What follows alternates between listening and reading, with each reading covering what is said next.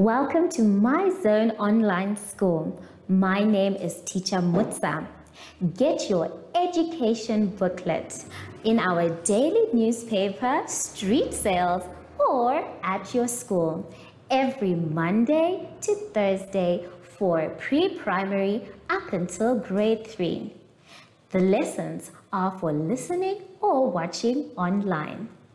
Inside the newspapers, there is an insert of the lesson booklet. Please cut the top of the lesson booklet with a pair of scissors and fold it for ready to use. But there is more. We are also available on our online platforms, MyZone and Zoshy Facebook pages, and in addition, our website, Zoshy Online.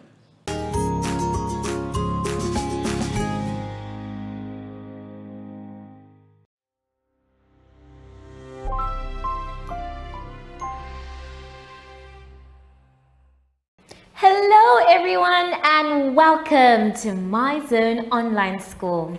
My name is Teacher Mutsa and thank you so much for joining me today. Our theme this week is senses. And before we get into any lessons, my dear friends, we know that we have to sanitize. Remember, sanitizing is not the only way we can stay safe. We can practice good social distancing and wear our masks when we are out in public. Make sure your hands are dry before you touch anything else. For today's lesson, we are going to be talking about bonds of 14, syllables, and geometry.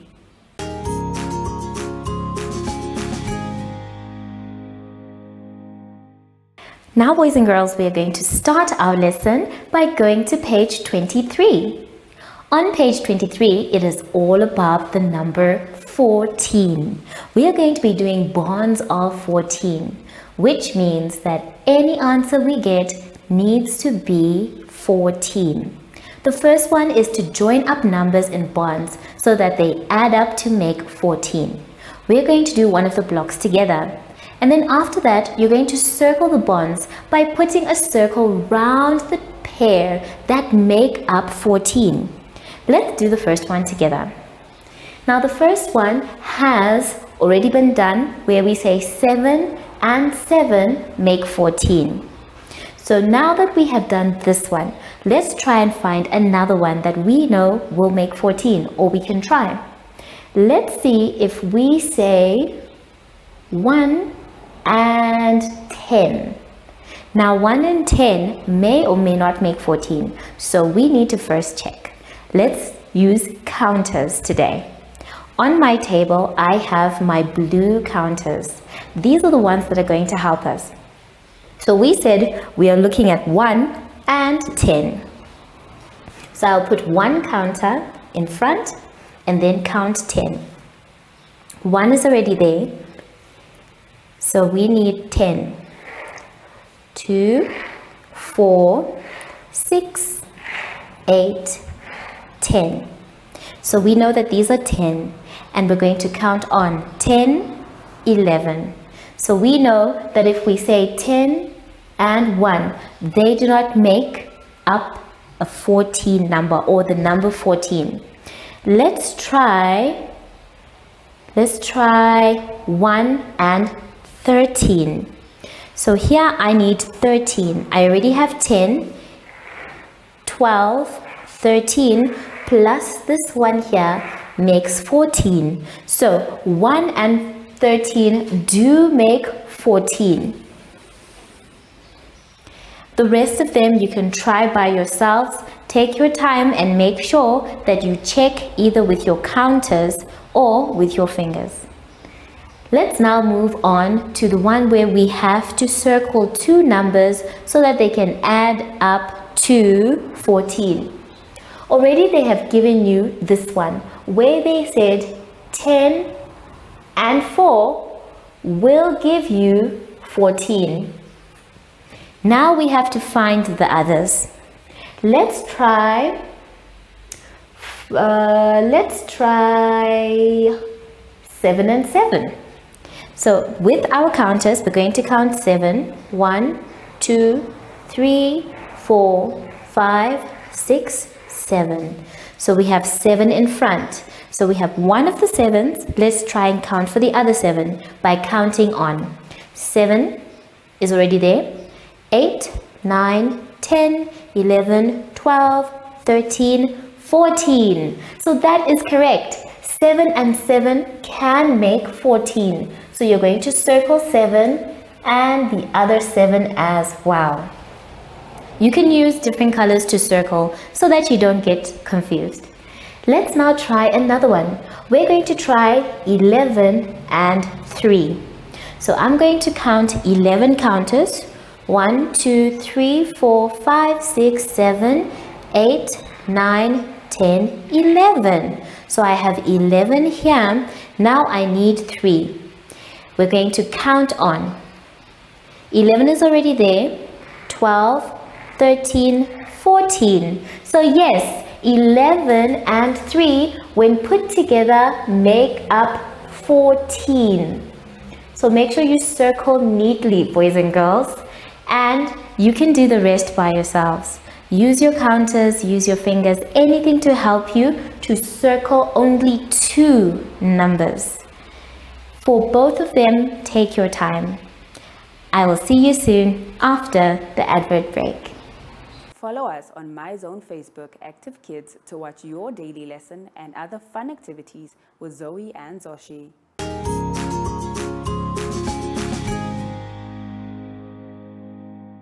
Let's continue our lesson now, boys and girls, by going to page 24.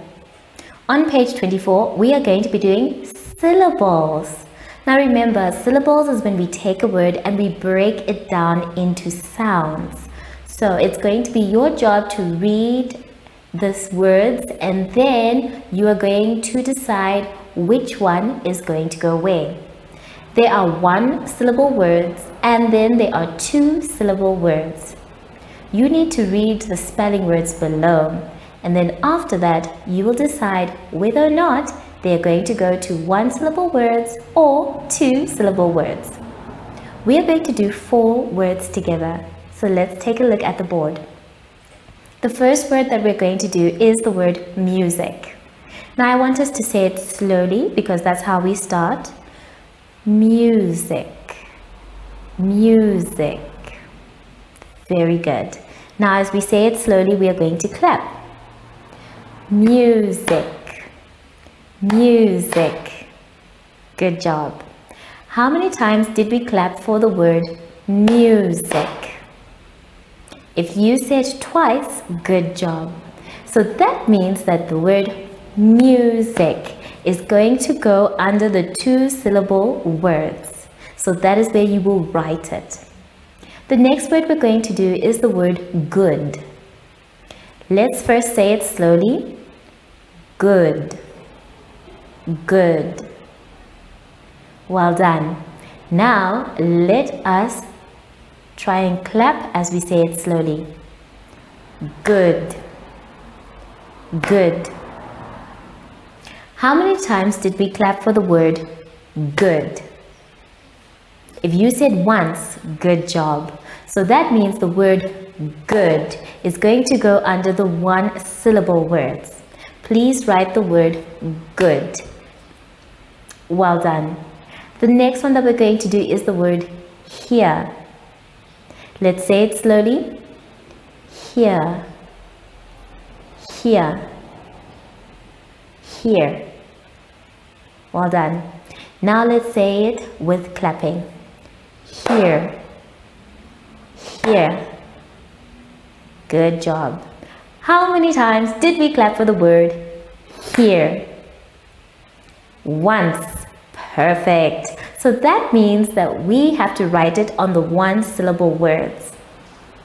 The last one we're going to do together is the word listen. Let's say it slowly. Listen. Listen. Now let us clap it. Listen. Listen. How many times did we clap for the word listen? If you said twice, well done. So that means that you're going to write it under the two syllable words.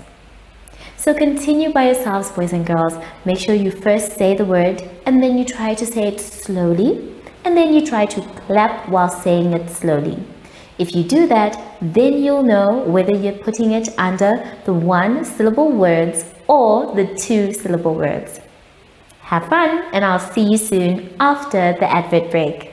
Do you have children in the age range of 5 to 6 years and want to participate in our school booklet program? Please contact us on 081 74 3759 and we will put you on our distribution list for the attention of pre-primary schools. Topics include family, summer, culture, traditions and houses, transport and communications, occupations, autumn and more. We distribute countrywide in over seven different languages.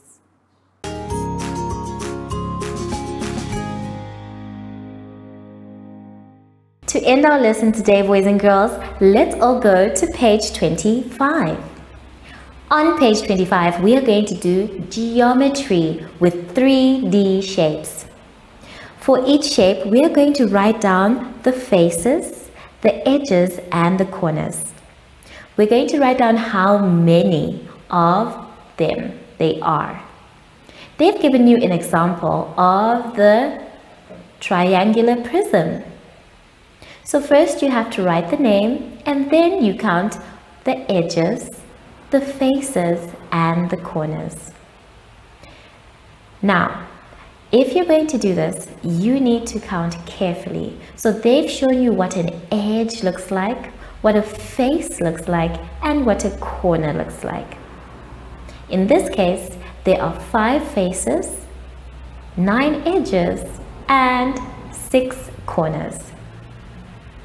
To help you with the rest, we're going to discuss some of the shapes and their properties. So let's take a look at the flashcards. Now the first one, like we did already, is the triangular prism. They've given you all the information you need to know. I'd like you now to try it by yourself to see if you get the same number of faces, edges and corners. After that, you can move on to the first one, the sphere. Now the sphere is round and has no edges or corners. So that's the clue I'm giving you. And if you check closely, it only has one face. The next one that we have is the cube. Now the cube has many, many properties. You can see that the face is right in front here, but you need to count all of them. And then we are talking about the edges. That's where the top or the part where we can run our finger through. And then the last ones are the corners where two points meet. You're going to have to count all the corners, all the edges and the faces as well. The same thing is going to be done for the cylinder. Now the cylinder is different from the cube because it has less corners and less faces and even less edges. So be careful when you're counting for the cylinder. The next one that you're going to count for is the rectangular prism. Similar to the cube, but not the same all the time. So be careful when you're counting for the cube and the rectangular prism. The last one that you have in your booklets is the cone. Now the cone is a bit tricky because sometimes we don't know if it's an edge right at the bottom here or a corner. But like I said, a corner is when two points meet. So that is your clue there for the cone. So take your time, boys and girls. Make sure you write the correct names first. And then after that, take a look at your picture and count the edges, the corners, and the faces. When you are done, try to double check by doing it the opposite way, starting with the cone and then ending with the sphere. I will see you soon after the advert break. Follow us on MyZone Facebook Active Kids to watch your daily lesson and other fun activities with Zoe and Zoshy.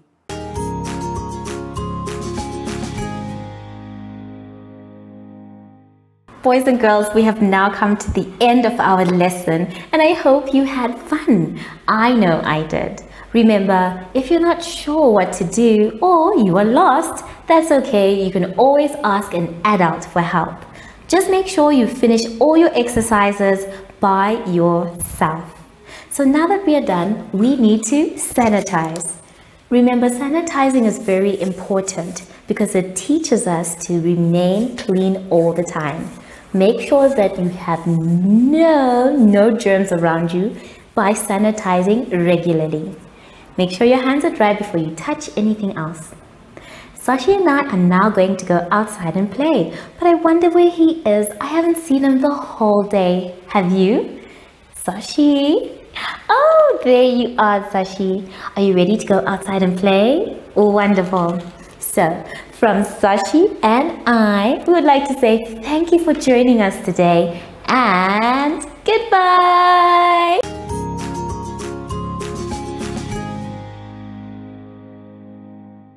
Our online school will help you along the way. Find us at www.zoshy.online and download the booklet. Follow us on Facebook to never miss a video. Subscribe to our Zoshy Telegram channel if you want to receive daily updates.